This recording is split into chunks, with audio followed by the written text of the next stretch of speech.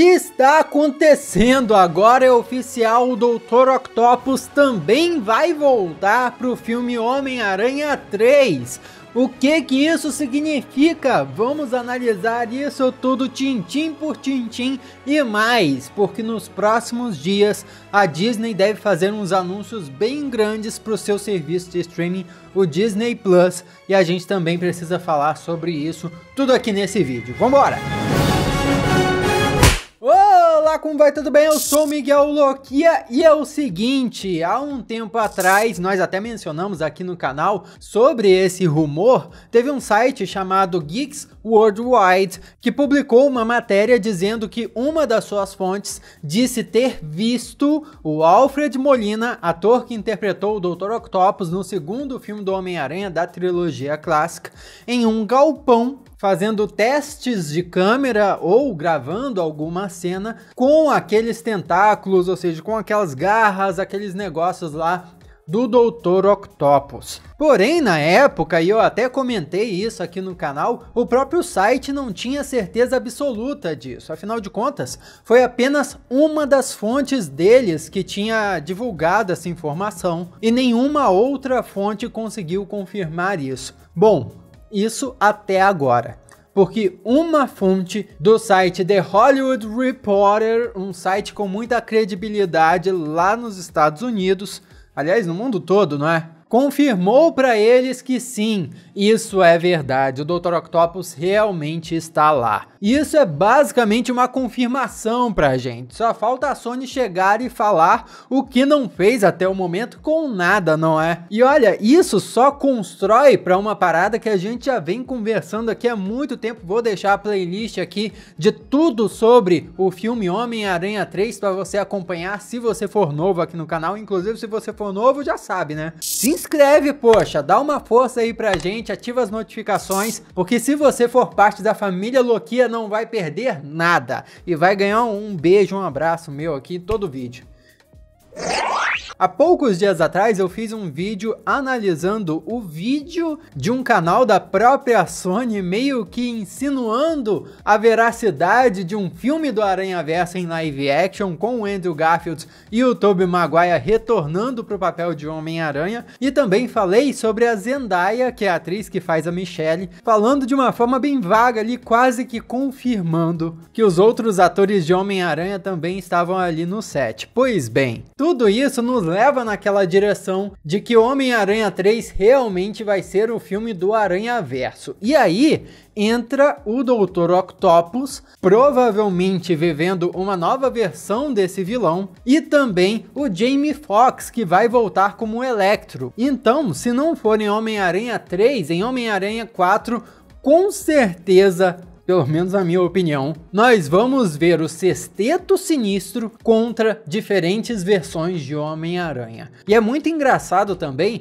como essas novas informações que vêm surgindo desbancam todos os roteiros vazados que estavam saindo sobre Homem-Aranha 3. Eu falei aqui no canal sobre um roteiro vazado de Doutor Estranho 2, o Multiverso da Loucura, porque realmente parece muito verídico, parece muito factual e de acordo com tudo que soubemos sobre a sequência de Doutor Estranho. Mas os roteiros de Homem-Aranha 3 em contrapartida, até o momento, eram muito malucos. Tinha um roteiro lá que dizia sobre o Craven aparecer no filme, tinha um outro roteiro que dizia sobre o Venom aparecer no filme, mas nenhum desses roteiros mencionou o Dr. Octopus, tem outro que não mencionou o Electro, ou seja, a cada nova notícia que vai saindo é como se aqueles roteiros todos lá fossem desbancados de uma vez por todas. Eram mentira mesmo. Até esse momento a gente não ouviu nada sobre uma aparição do Venom ou do Morbius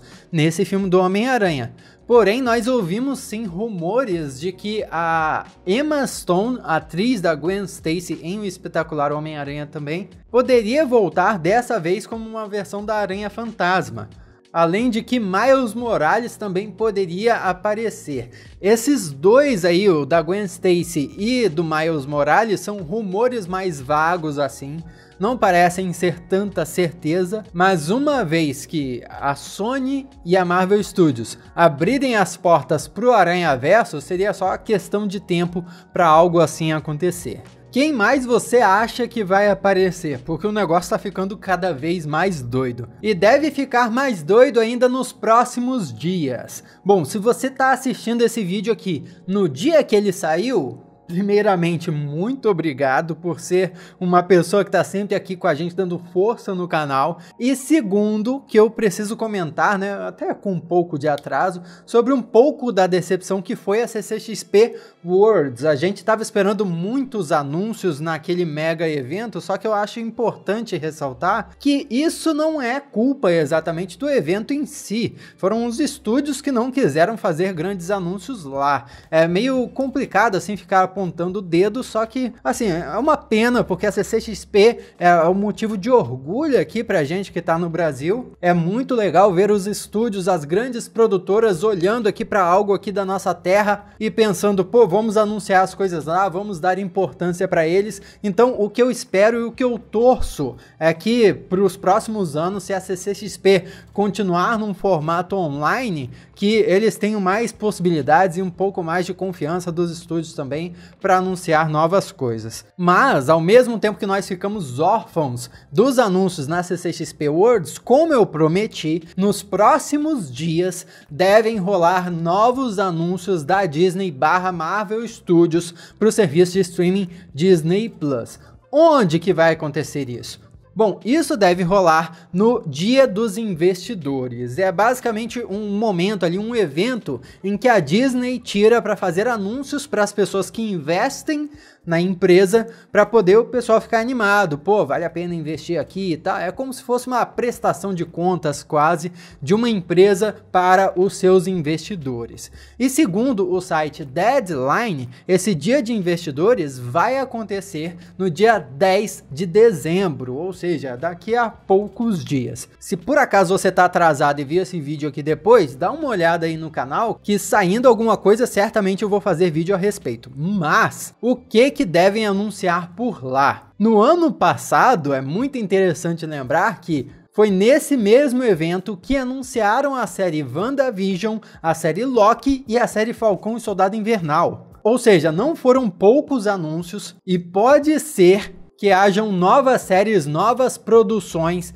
sendo anunciadas por lá também. Só que como não estreou nada em 2020, pode ser que eles segurem os anúncios para novos projetos, mas sim divulguem novas informações sobre projetos que já conhecemos. Então talvez tenha mais alguma coisa sobre a série do Falcão e do Soldado Invernal, talvez mais alguma coisa sobre a série do Loki. E como vocês talvez já saibam, a Warner anunciou que todos os seus novos filmes vão ser lançados no cinema e no serviço de streaming o HBO Max ao mesmo tempo. Então também existe uma expectativa de que a Disney faça um movimento parecido ou talvez de forma até mais suave. Talvez algo parecido com o que aconteceu com Mulan, onde eles sim colocaram no serviço de streaming do Disney Plus, porém a pessoa precisava pagar um valor a mais para assistir aquele filme. Será que vai rolar um anúncio de que nós vamos ter o filme da Viúva Negra